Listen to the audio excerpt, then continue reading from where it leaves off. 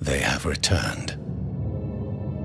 They corrupted, divided, conquered.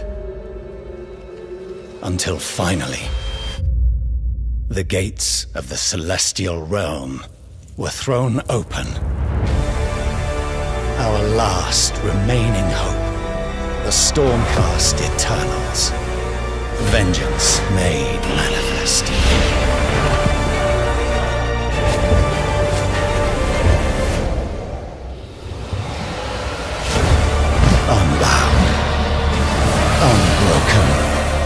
we will take back what the dead have